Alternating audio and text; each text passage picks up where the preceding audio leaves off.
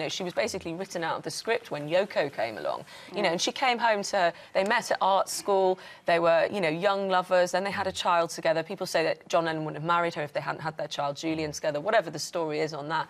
But, you know, she was with him for more than half of his life. You know, he was obviously killed in his prime. She came home to their house and Yoko Ono was sitting there in her dressing gown, you know, staring into each other's eyes. And Yoko Ono's actually released a statement today saying, I felt proud of how we two women stood firm in the Yeah. Beatles family.